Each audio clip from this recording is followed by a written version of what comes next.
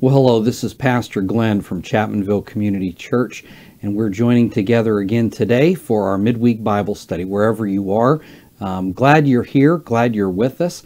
Hope you have your Bible opened up to um, uh, 2 Corinthians chapter 11. That's where we're going to be studying again today as we continue uh, our study in Paul's letter to the Corinthians.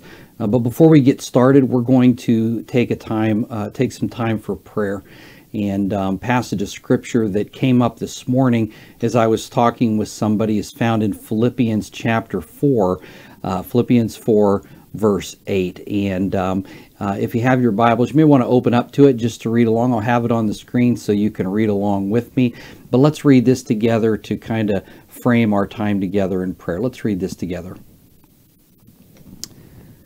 Finally, brethren, whatever things are true, whatever things are noble, whatever things are just, whatever things are pure, whatever things are lovely, whatever things are of good report, if there is any virtue, and if there is anything praiseworthy, meditate on these things.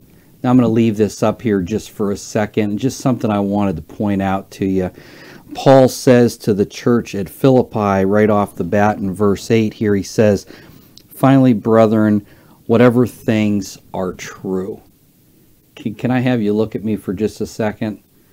If there is ever a time that we need to be reminded of the truth of this verse, it's now. There are so many things out there that are not true. There are so many worries and fears we have that may or may not be true there's so much news out there that may or may not be true. Can I just encourage you? Paul is telling the people at Philippi, and I believe he's telling you and me as well as we read this whatever things are true, think on these things. Now, he lists other things, but today my encouragement for you is whatever you're dealing with, focus on the things that are true. Meditate on those things. Let your mind dwell on those things. And remember, Jesus said, I am the way, the truth, and the life. So today we're going to focus on what is true, and the truest thing we can focus on is Jesus Christ. Will you join me in prayer as we begin today? Father God, we are so honored and thankful to be able to be with you today and to spend time reading and studying your word. I thank you today, Lord, for the words of Paul when he simply just he, he told the people at Philippi and reminded them of the things they should think about, the things they should meditate on. Lord, in our world, there are so many things that are being thrown at us on any given day. And Lord, today I ask that you would help us to to push the reset button, that we would draw back and that we would reflect on you, that that the things that are true, we would think about, things that are noble, things that are just. We live in a world where there is so much there is so much that is wrong out there. Help us to focus on the things that are just. I pray God you would help us to focus on the things that are pure. There are so much filth and garbage that is being flung our way and whether it's on the internet or uh, on television, on the cable, um, in social media, in the newspaper, or in our lives. God, help us to focus and meditate on the things that are pure. Help us to focus on the things that are lovely, whether it is a flower, or a sunrise, or a sunset, or an eagle soaring in the sky, or a deer walking across the field, or just thinking of your love, your grace that you pour out on us. I pray today, Father, that the things that are of a good report, the things that are honorable to you, we would meditate on those things, things that are virtuous and things that bring praise to our to our lips. God, I pray that you would help us to meditate on those things, realizing that out of the overflow of what is in our heart, that is what we will speak. And so, as we meditate on you and on things that are true, noble, just, pure, lovely, and of a good report, I pray, God, that what comes out of us would reflect you and point others to you. I pray, Father, for friends today and for folks in our church community who are sick. I pray for my friend Daryl and ask God that you would minister to him and love on him and strengthen him. For our dear friend Lillian, God, love on her. Draw her close to you. Strengthen her as well. We pray for our friend Jim that lost his wife a couple weeks ago. We ask God that you would continue to love on him, strengthen him, minister to him, give him the power to continue to face each day, and that his faith would grow stronger each and every moment of each and every day as he leans on you and as he trusts on you. God, for those who are listening today, I pray that we would not be distracted by the um, the noise and the clutter and and um, the yammering that's going on in our world, but that we would draw close to you, we would stay close to you, and that your word, the truth of your word, the truth of your Son, would strengthen us for each day. God, you, just right now, coming to mind is the um, the new school year that's right around the corner. There are so many questions, whether it is local or uh, on the other side of the globe, at any point in between. So much concern, so much uncertainty of how students are going to go back, how teachers will go back. Father, I pray that you would give wisdom to those who are making decisions, give wisdom to parents and teachers and school officials that the decisions they make would be based on what is right and what is true. Again, we ask God that your truth would be heard and be seen, and not out of a spirit of fear, but out of a spirit of power and of strength from you and you alone, that we'd be able to move ahead. Father, help us to graciously and kindly and lovingly move forward in the direction you want us to go, loving people where they are realizing that you loved us where you found us. And while we were yet sinners, that's when Christ died for us. So, Father, we thank you for his love. And as we study your word today, may you be our teacher in all that we do. It's in your precious name we pray these things. Amen.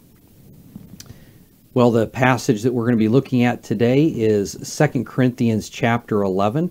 2 Corinthians chapter 11, we're going to start out with verse 21. We talked about it last week. Um, but as we as we did, we only went halfway through it, and so we're going to pick up with the second half of verse 21. Let's jump right into it today, shall we? But in whatever anyone is bold, I speak foolishly. I am bold also. Now, in the second half of verse 21, Paul, uh, Paul is saying, listen, what I'm about to say, it's foolish. But since you, um, uh, false apostles, and even some of the people at Corinth, since you have regarded me and you have viewed me and you've even claimed that I am a fool, I'm asking that you would indulge me for a moment and listen to me as as if I as, as if I were a fool. Um, Albert Barnes says that Paul frequently reminded the Corinthians and those who were reading this letter of the charges that were made against him. And um, he's bringing them back and reminding them of their charges. Really and truly, it's as an opportunity to humble them, um, especially when he gets to the place here in just a few moments when he educates them on all that he has endured, all that he has gone through for the sake of the gospel. And in the following section, Paul outlines um, the, the, his most important achievements. But I say that, and this is important, his most important achievements um, from human standard, according to people's perspective of what is most important in life. Again, we said last week that this is not Paul. Paul is not trying to boast in himself. He wants to continue to point people to the cross. He wants to continue to point people to Jesus Christ. But because of the corner that the Corinthians and the false apostles had put him in, he felt it necessary to speak to them in this manner. And maybe as you'd say, maybe as we'd say, to kind of educate them and bring them up to date on what it is that, that he had endured, what he had gone through. Now, he includes three things here in his arguments. Let's look at these. He includes his ethnicity. Um, in verse 22. He includes his vocation uh, in verse 23, and then he includes his hardships. Um, it's the second half of verse 23 and through, I believe, verse 29. Now, I noticed that there were three things about Paul's words here. The first two were observations of John Barry uh, in his commentary, the Faithlife Study Bible. Um, but the third one was my observation, and so I share these with you. Um, the first thing that we want to look at, or that we want to kind of notice in this, is we should remember Paul does not actually place a high value on any of these things. I'm going to say that again. Paul does not place a high value on any of these things. He's using this and speaking to them by the standard or according to the standard that they are judging each other and they're judging him. Um, and, and he's saying, listen, even these super apostles, even by their own standard, if they look and if they really take a moment and look at what Paul has endured and gone through, they're they're going to be they're going to be left silent. They're going to be left silent. Um, the second thing that uh, John Barry points out is that Paul suffered all of these things for the sake of Christ and for the church. Paul went through these things, and if you look at Philippians chapter 3, verses um, 4 through 7, he details it. He explains it in great, in great detail. I'd encourage you to turn and look there uh, later on. Philippians chapter 3, verse 4 through 7. Paul endured these things for the sake of Christ. And so while he's talking about his ethnicity and his vocation, and the, and the difficulties, the struggles, the hardships, the persecution he went through, remember that this is what he went through for Jesus Christ and for the church, the body of Christ. The third thing that I notice in this is that, and this, again, this was my observation, is that Paul wasn't really responsible for any of these quote unquote achievements that he lists. I mean, let's put this list back up here again. Paul didn't pick his ethnicity. That was something that was determined by his parents. Paul didn't get to choose that. That was delivered to him at the time of his conception, and, and uh, he had nothing to do with it. Paul also didn't pick his vocation. Jesus Christ called Paul to serve him in the manner that he, that he served. Paul didn't say uh, when he was a little boy or even when he was an old man, today I think I'm going to stand up and I'm going to pick to to be a messenger of Jesus Christ. No, no, he was called by God to serve in that capacity. And I think we all would agree that Paul certainly didn't pick his hardships. But that brings us to a truth here. And I, I again, look at me here as I'm saying this so that we kind of think this through. Um, Paul recognized that God used all of these things his ethnicity, his vocation that God had placed him in, and the hardships that Paul had endured. God used them to shape the Apostle Paul into God's tool in order to reach the lost for Jesus Christ and to be able to share the gospel with them. So, as we get into this, let's look at the first one Paul's uh, ethnicity. Look at verse 22. Are they Hebrews? So am I. Are they Israelites? So am I. Are they the seed of Abraham? So am I. Now, as we look at that verse, I mean, it, it sounds very boastful. And again, Paul is is lowering his speech. He's temporarily stepping aside from what is wise and entering into the realm of foolishness, speaking in this way. So uh, don't throw Paul under the bus for speaking like this. But he says, you know, listen, am I a Hebrew? Are you? Are they Hebrews? So am I. Are they Israelites? So am I. Seed of Abraham? That that's me too.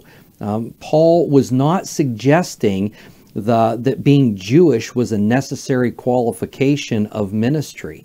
Uh, at all. Um, but as one writer said, he's saying that it provides the benefit of knowing the Old Testament knowing the Old Testament and being raised in the same tradition as Jesus. So Paul is saying, listen, you know what? Um, when you look at this, I, I know the Old Testament also, and I understand the ways that Jesus was raised. Um, today, we might look at it and we might say, you know, I was born and raised an American. You know, I, I was born and raised here in America. I didn't pick that. Um, that was that was determined because my parents were both Americans and I was born within the United States. and that that makes me an American by birth. But I didn't pick that, and I can't go around bragging about that. Or if somebody would come along and say, um, "I come along, I come from a long line of whatever political party." Um, again, the fact that you come from a long line, that there are Democrats or Republicans or independents or whatever other flavor you choose in your family from years past, you didn't pick and choose the political family that you were born into. Now, you may pick and choose uh, how you vote and how you stand on those issues, but you can't say that, you know, you can't pat yourself on the back and say, I was born into a political family. You also can't say um, with a bragging, uh, arrogant attitude that I was born into a certain denomination of a church. You know, I've talked to many people who say that they were raised Catholic or Methodist or Baptist or independent or um, not raised in any church. You can't you can't take credit for that. But all of us all of us have to account for what we do, where we worship, and and the faith that we have have received, and how whether or not we have accepted Jesus Christ as our Savior. But these are the things Paul's Paul's talking about here. Um, you know, it doesn't matter if you had if uh, you come from a long line of perfect attendance and that you had perfect attendance through the sixth grade. You probably didn't have much of a choice a perfect attendance of Sunday school, you probably didn't have much of a choice. You had to go because your parents took you whether you wanted to uh, or not. So Paul isn't saying that. He's not saying that he's any more spiritual, and, and we're not saying that we're any more spiritual or that we're any better or that he's any better, that he has all the answers. He's just saying, at the end of the day, that's just a fact. It's just a fact that I'm also Hebrew, that I'm an Israelite, that, that I am of the seed of Abraham, but he didn't have any choice in this matter. Um, later on, he says that, that he was persecuted by the Jews. Now, as he says that he's part of the Jewish family and, and part of the Jewish history and, and um, uh, descent, um, he was persecuted by his own people. We're going to talk about this in a little bit, but you know, I'm I may expect to be mistreated by a stranger, but I really and truly do not expect to be mistreated by family. Um, I don't I don't expect that to happen. Family isn't supposed to treat family that way. And so, even as Paul is talking about his lineage, his ethnicity, um, it, it's going to come into play a little bit later on. Paul also talks about his vocation. Look at verse 23. Are they ministers of Christ? And then he says again, I speak as a fool. And he says, I am more in labors more abundant. Uh, the Nelson's New King James Study Bible says that Paul's opponents were not ministers of Christ. Here it is in verse 23 they have claimed that they're ministers of Christ. And so Paul is, again, acting as a fool. He's temporarily suspending his argument. But remember in verse 13, he said that they were false apostles. In verse 15, he said that they were ministers of Satan. So here he's attributing their own words to them and saying, you know, they're claiming that they're ministers of Christ. Um, but then he says, you know, from a human perspective, again, speaking foolishly, uh, and this is the key, um, he says, from a human perspective, I'm even more so. Um, Adam Clarke talks about this uh, phraseology here of being a minister of Christ, and Clarke suggests that Paul was identifying them as professors of Christianity, or in my words, as professional um, professional ministers. Uh, as I read it, they might have been individuals who were experts in Christianity. They understood Christianity. They knew they knew the right words. They could articulate what Christianity was all about. But that that's basically where it ended. There was no faith. They they were not Christians themselves. And so um, Paul is identifying, saying, "Listen, you know, they claim to be a minister of Christ. I, I, am. I'm even more so from a human perspective, and what he's about to say. Paul's saying, I'm. I'm even more so. Now, again, he's speaking in foolishness, but as we look at Paul's hardships, if you want to hear the testimony of one of God's missionaries who really was run through the wringer, we see that in the life of Paul. Let's look at verse 23, the second half, as he begins to describe some of his hardships and what he went through. Let's look at second half of 23. In stripes above measure, in prisons more frequently, in deaths often. Stripes, prisons, and death.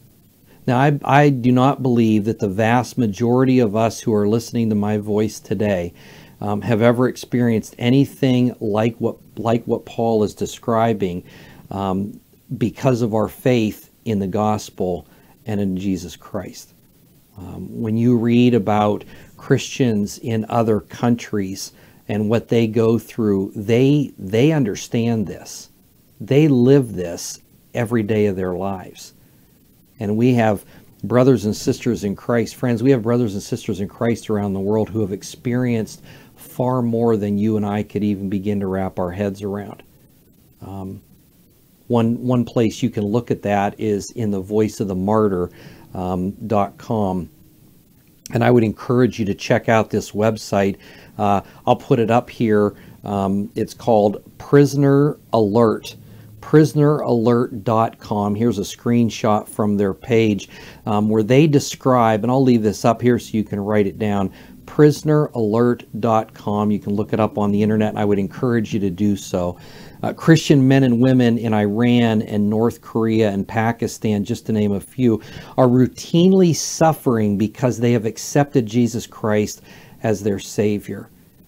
Now, there's one individual, and I read this, read about him, and um, I, I, don't have it committed to memory, so I'm not going to try to quote it as if it's uh, something that I've memorized. But in 2016, a gentleman by the first with the first name of Nasser, um, he was arrested in a city outside of Tehran, Iran, um, and he had been imprisoned for forming and establishing an illegal church organization in his home. Can you imagine? Because he had a group of people that were meeting as Christians he was arrested because they're not allowed to do that there. In January of 2018, he was sentenced to 10 years uh, in prison. Nasser sent out a letter from prison on January 31st of this year, of 2020, and he wrote, and I put this up here, read this along with me. I am confident in all hardships, and I believe I will become free by him who I have hoped to, my Lord, because the Lord our God does not forget his children. So let me be bold and say, The Lord is my helper. He goes on and says, Remember me in your prayers always. You know that your prayers are a sweet smelling offering to God and a sacrifice which is accepted and pleasing to Him. And again, uh, written by Nasser January 31st, 2020.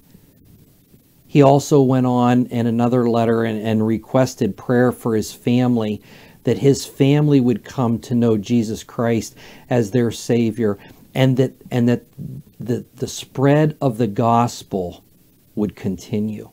Here's a man who's serving a 10 year sentence and he is confident that the Lord is his helper and, and the Lord is going to see him through. But he prays that his family will come to know Jesus Christ. You know, we don't understand the persecution that the church goes through. But this gentleman here, Nasser, he understands it firsthand.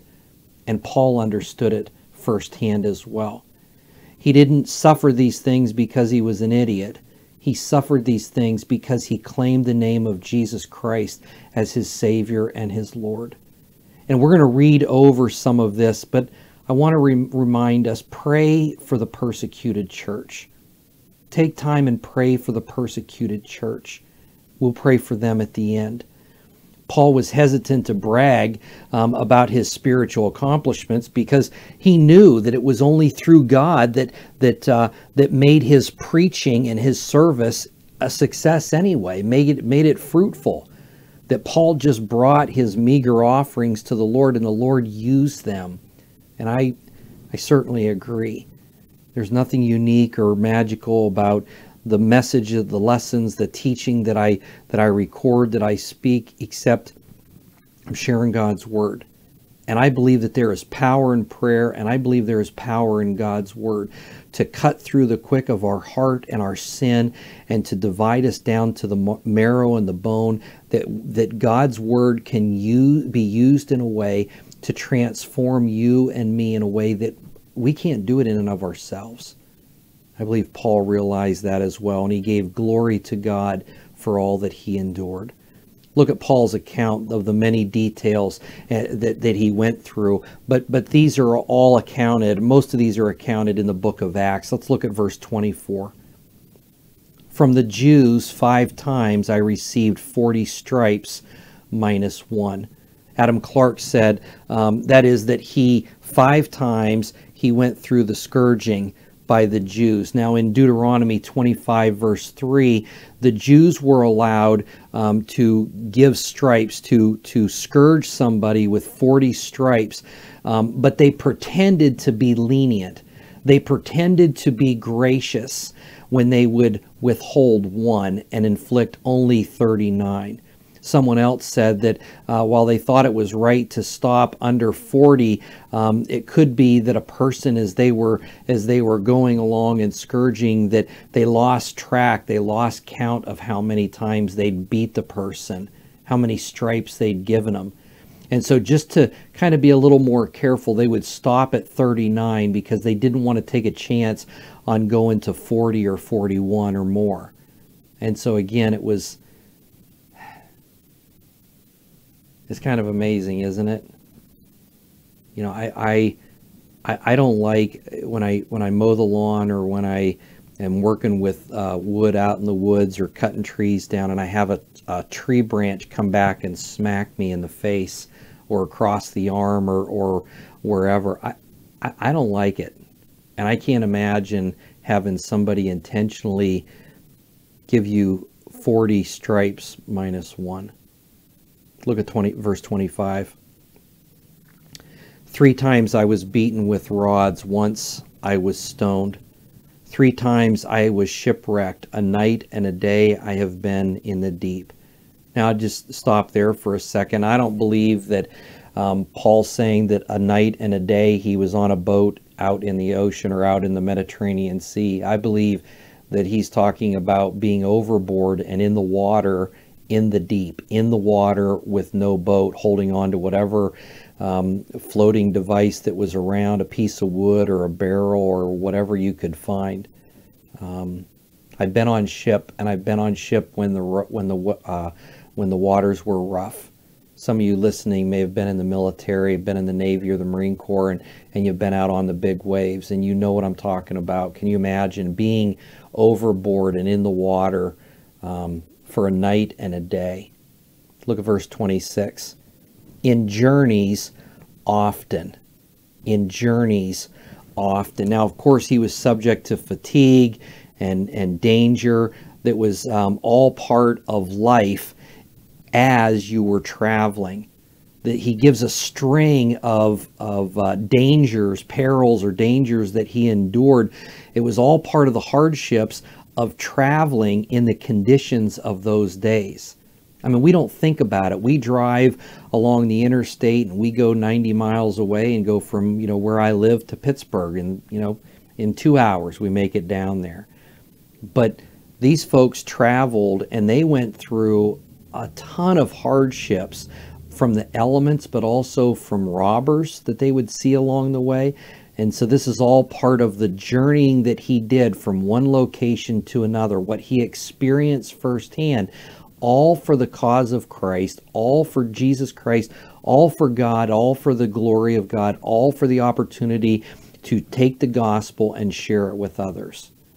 He wasn't doing a joy ride, he was out working for Jesus Christ and sharing the gospel with others. Look at things that he dealt with as we go back to the passage in perils or dangers of water, in perils of robbers, in perils of my own countrymen, in perils of the Gentiles, in perils in the city, in perils in the wilderness, in perils in the sea, in perils among false brethren. Again, as you think of those, each of those different places, the the dangers that they offer being unique to themselves. Verse 27 In weariness and toil, in sleeplessness often, in hunger and thirst, in fastings often, in cold and nakedness.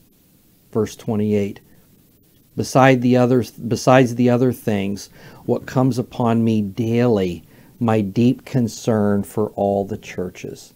I'll talk to you again here just on this for a moment of all the other things that Paul went through. He starts, you know, he's listing all these things off the dangers in the city and the wilderness and and the false brethren that would lie and try to beat him up. And again, we think back to the stories and accounts that are recorded in the book of Acts.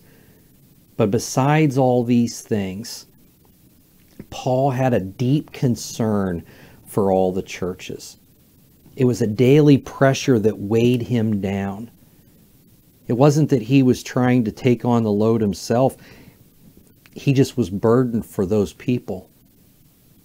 He was burdened for all that they went through. And any burden they went through, he dealt with it as well. The churches that were in his care, those men and women, boys and girls, young and old alike, that Paul had ministered to and witnessed to, and many of them led to the, led to Jesus Christ for salvation. He was burdened for when he would hear of struggles that they were going through. I got to tell you, as a pastor, I, I deal with the same thing. I'm not saying that I'm Paul. I'm not saying I deal with it in the same in the same manner, but I understand it firsthand. I've done a, a number of funerals, and I got to tell you, while it might not be my family member that we are having a service for, I, I, I carry that hurt with my church family. I know of struggles that marriages have gone through, and I carry that and I feel that hurt and that burden, and I'm burdened for them as well. Paul's saying, listen, um, my deep concern for all the churches. Look at verse 29. Who is weak, and I am not weak? who is made to stumble, and I do not burn with indignation? Calvin said this, and I quote Care generates sympathy, which causes the minister of Christ personally to enter into the feelings of all his people as if he stood in their position so as to accommodate himself to all. When, when you when you look at this and you you you recognize what Paul was carrying, the burden he was carrying for his people, you realize it wasn't just the attacks from without, it was the burdens from within. When we see somebody that's followed Christ and all of a sudden they walk away from Christ, it, it's, it's a burden to us, many of us. And as we come together to pray and to share, many of us understand that. We hear that, we understand it. And Paul's saying, listen, what I've gone through and what I what I deal with when there are people who in my church family who are weak, I'm I'm weak also. And I think Paul's contrasting himself with the false apostles who were, as we've said, they were charlatans. They were there for the money, they were there for the prestige, they were professionals, but they weren't they weren't the shepherd. They weren't the shepherd that was caring for the flock the way Paul was called to and the way pastors are called to minister to those in their care today. I'm so thankful for the men and women that serve at our church that that are on boards and Sunday school teachers and even people that are sitting in the pew that they love on the other people in their in their pew in their Sunday school class the ones under their care we, we care about you we love you. And if you are listening to this recording today, I just want you to know we love you and we pray for you. Some of you we pray by name because we know your name, but there are others we pray for you by face. We might not know your name, or we pray for you by your circumstances that you're listening. We pray for you. We love you. And when you tell us of a burden you have, we pray for you and we carry it with you, but we carry it together. With you, we carry to the cross and we lay it at the feet of Jesus. Paul said, listen, in verse 30, if I must boast, I will boast in the things which concern my infirmity. this is kind of getting started into the next section, but as he wraps this up, he says, Listen, if I'm going to boast about anything, I'm going to boast about the things that I struggle with. I, I'm, I, you know, contrary to today, there are so many people today that spend their time trying to promote themselves and all the good, the good stuff, right, going on in Facebook, going on in their lives, and they promote it. They, they only post the good stuff. They only post the mountaintops. They only po- post uh, all the victories that are going on in their lives. Paul said, "You know, I'm that's not what I'm doing. I'm going to promote instead. I'm going to boast my infirmities, my struggles, my weaknesses." In the next chapter of Second Corinthians, Paul explains his thorn in his flesh and it kind of dovetails together. We're not going to talk about it, but I want to read it to wrap up with this. Second Corinthians chapter 12 verses 9 and 10. Paul said that he when he asked God to remove his thorn, he said the Lord said to me, "My grace is sufficient for you, for my strength is made perfect in weakness." Therefore, most gladly, I will rather boast in my infirmities, that the power of Christ may rest upon me. Therefore, I take pleasure in infirmities in reproaches, in needs, in persecutions, in distresses for Christ's sake. For when I am weak, then I am strong. Will you bow with me in prayer? Father God, we thank you today for the words of Paul. And I thank you that as we have this example of one who served you faithfully, we recognize and we realize that he didn't call this on himself, and it's only through you that he was able to stand faithfully in spite of it. Father, I pray for the persecuted church around the world. I pray for the men and women that are in um, in difficult circumstances, whether it's in prison or threats of their life or they just are being persecuted because of their faith, whether it is in the other side of the globe or in our own church family in our own backyard. I pray, God, that you would help them and cause them to stand firm and to be faithful to, to the call that you've placed on their lives. May they not grow weary in well doing, but may they stand firm, continuing to follow after you and proclaiming the gospel message to the world around us. God, we we realize our world, our times are changing. And when we have people that can't even talk civilly to each other about masks or no masks and vaccines and no vaccines, we're not even talking about things that matter for eternity. God, I pray that you would help us as the church, as the body of Christ, to be f- firmly and fully committed to preaching and teaching and sharing the good news of Jesus Christ, that forgiveness can only come through Him, but that each one of us have the opportunity to accept Jesus Christ as our Savior for the forgiveness of our sins, and we would hold fast and hold true to that. Father, today we pray that you would help us to continue to move ahead and realizing that your grace is sufficient for us that when we are weak, are, we are strong, but it's not in our strength, it's in your strength. Be with our church family today, God, wherever they are, wherever they are listening. Minister to them and love on them in a special way today. In your name I pray. Amen. Friends, this is Pastor Glen again from Chapmanville Community Church. As we come to the end of another midweek Bible study, again, thank you for joining with us today wherever you are, continue to read your Bibles. Continue to spend time in God's Word and let Him teach you from the pages of Holy Scripture. Continue to pray for revival in your heart, in our lives, in our lands, in our churches, in the heart of your pastor, whether it's me or someone else. Continue to pray that God will bring about a revival in each one of our lives. And continue, friends, to keep your eyes on Jesus Christ. He alone is our hope. He alone is our strength, and He alone is our salvation. Until next time, have a great week. God bless.